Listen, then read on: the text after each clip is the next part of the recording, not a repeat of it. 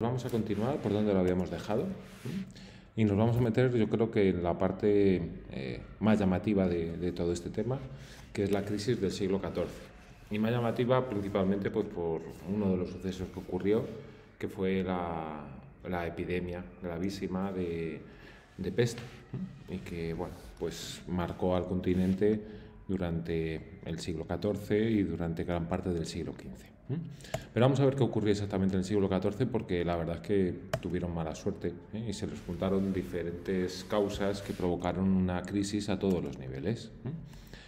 Una de, estas causas ¿eh? de esta crisis del siglo XIV que va a hundir completamente al continente desde todos los puntos de vista, poblacional, evidentemente, económico, político, social.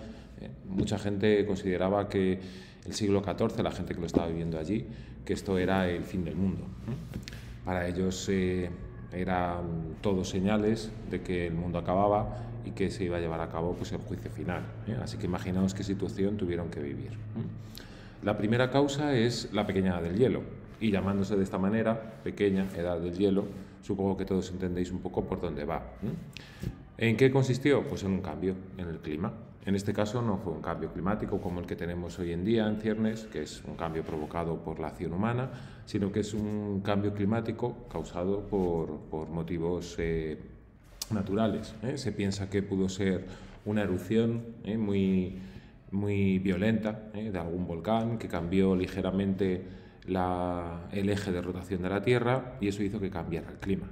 Sabéis que el clima es algo muy, muy muy sensible eh, a, cualquier cambio eh, y eso va a hacer que cambie. ¿En qué consiste, en qué consiste esta pequeña edad del hielo? Pues no consiste solo en lo que su propia palabra indica, ¿no? de hielo, eh, que todos asociamos evidentemente con el frío, sino que fue un cambio climático mucho más extenso.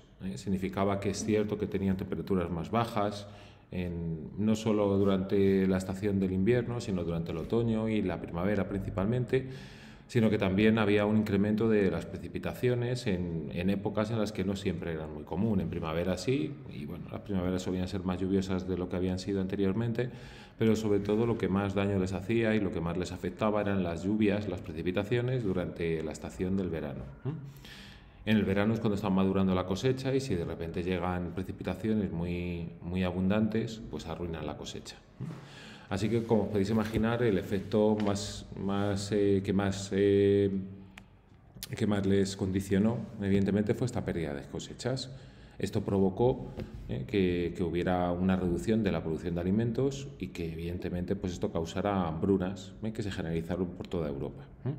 Esta pequeña del hielo empiezan los primeros efectos en el siglo XIV. No es eh, cuando más claro se deja sentir esta pequeña del hielo, va a ser en el siglo XV, XVI y XVII, cuando se note con una manera mucho más cruda, y de hecho pues aquí os pongo un, cuadro eh, de, del norte de Europa, eh, del siglo XV, y aquí vemos como los canales, esto podía ser una ciudad cercana o una población cercana a Ámsterdam y tenemos canales o el mar, porque no podemos intuirlo muy bien, que está completamente congelado. Eso va a ser la norma ¿eh? durante todos estos siglos. Ríos como el Sena se van a congelar completamente, el Támesis ¿eh? durante meses enteros va a estar congelado. Y esa era la parte bonita, ¿no?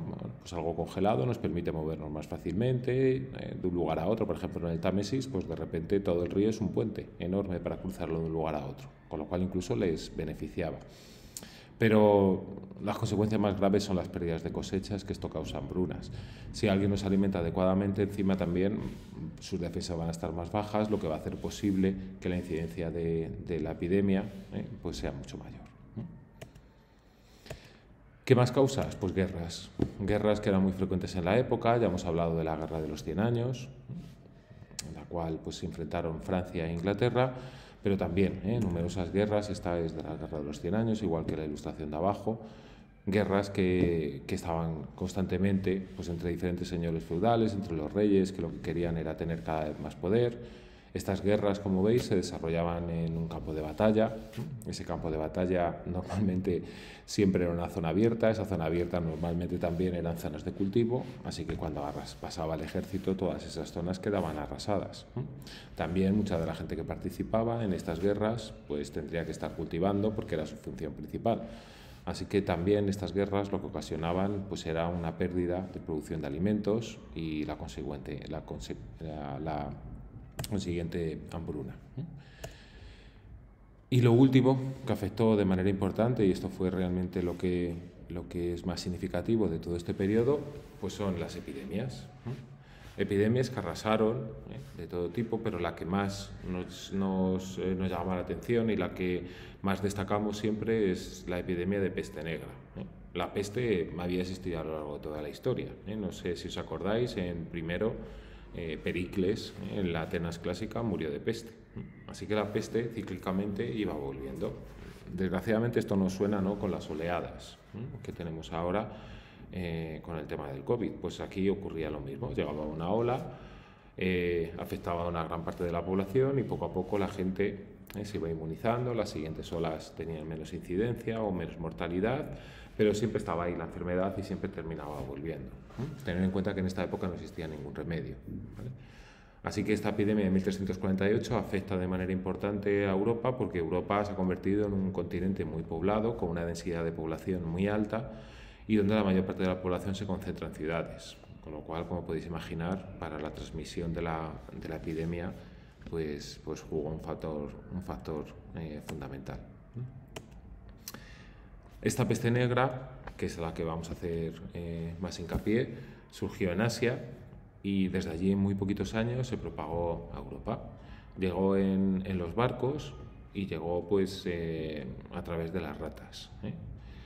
Esta peste negra se caracterizaba por la aparición, como veis ahí en esta ilustración, como de bultos, que llamamos bubones, principalmente en las zonas donde, donde del cuerpo como las axilas o en las ingles. Al mismo tiempo también aparecían unas manchas, así de un color negruzco. La verdad es que el desarrollo de la enfermedad era algo espantoso para la gente que, que las, que la sufría. Pues esa aparición de bulbos a lo largo de todo el cuerpo, pero principalmente, como ya os digo, en las axilas y en las ingles, que era donde, donde se tenían los ganglios ¿eh? y, y, donde, donde aparecían en un primer momento. ¿eh? Pero como veis en esta ilustración, aparecían también podían aparecer a lo largo de todo el cuerpo. Unas manchas de color negruzco en la piel, pues evidentemente pues, la gente que enfermaba pues también era presa ¿no? de, una gran angustia, ¿no? porque casi todo el mundo sabía que el curso general de la enfermedad pues, pues era la muerte. Y como podéis imaginar, en esta época pues la medicina poco podía hacer. No había ningún remedio, así que lo que se aplicaba era la sangría. Ellos pensaban que la enfermedad estaba dentro de la sangre y no iban muy desencaminados, así que lo que consistía era en sacar la sangre. ¿vale? Y la sangre se sacaba sajando, que es rajando los bultos, como vemos en estas ilustraciones, o haciendo sangrías. Sangrías te cogían las, eh, las venas del brazo principalmente y bueno, pues con un bisturí te cortaban, como veis en la ilustración de la derecha, y dejaban salir la sangre. En otros casos se hacía con sanguijuelas, que sabéis que son unos parásitos, te los ponían encima de la piel y las sanguijuelas chupaban la sangre. Como podéis imaginar, este remedio generalmente lo único que hacía era eh, debilitar aún más a los enfermos. Y los enfermos, pues bueno, eh, no podían hacer mucho. ¿eh? Así que lo que se va a considerar es que esta enfermedad es un castigo divino, así que por las ciudades encima, pues lo que se empezó a ver fue eh, estas procesiones que vemos aquí, que eran como de penitentes, de flagelantes, pensaban que había que cumplir una penitencia para, para, para que Dios les perdonara, así que esa penitencia era pues causarse un dolor físico ¿eh? con un flagelo que es como una especie como de látigo, como podéis ver ahí en la ilustración. Así que bueno, pues eh, como podéis imaginar esto pues no servía de nada, porque el origen de la enfermedad no era evidentemente divino, sino que estaba causado por las pulgas de las ratas. Si te ponías enfermo te visitaba esto, este es el médico de la peste, así que era una persona que se ponía esto ¿eh? que parece como un disfraz hoy en día, pero que en, aquella, en aquel momento para ellos era importantísimo para poder protegerse de la enfermedad. Tampoco sabían exactamente cómo se transmitía, como ya podéis imaginar, así que bueno, pues se ponían un, vestido completamente negro, un uniforme completamente negro, pues porque los enfermos vomitaban, tenían diarreas y bueno, pues para que no se notaran si alguno ¿eh? manchaba, si vas de blanco, pues es muy escandaloso. Así que de negro se disimulaban mucho más si había algo de sangre o había cualquier otro, otro tipo de, de mancha. Se colocaban, como veis ahí sobre la cara, una máscara con forma de cabeza de ave, con un pico enorme.